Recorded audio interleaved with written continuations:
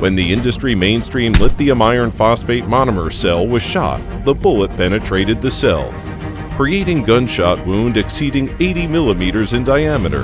The cell underwent explosive mechanical structural damage, triggering an immediate thermal runaway, subsequently igniting.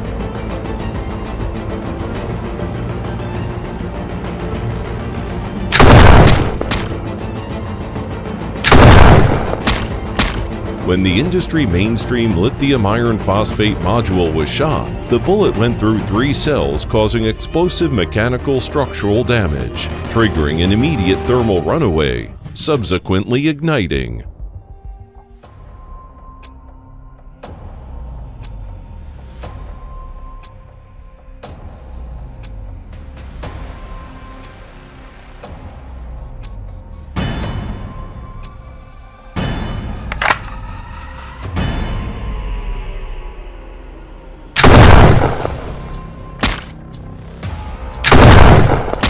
After the shooting of the Magazine Battery 2.0 lithium iron phosphate pack.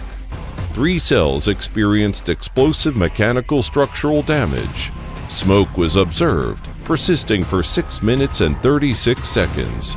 The adjacent test cell reached a maximum temperature of 185 degrees Celsius. No signs of ignition or explosion were detected. After being left untouched for 24 hours, monomer cell voltage decreased to zero. Temperature returned to ambient levels.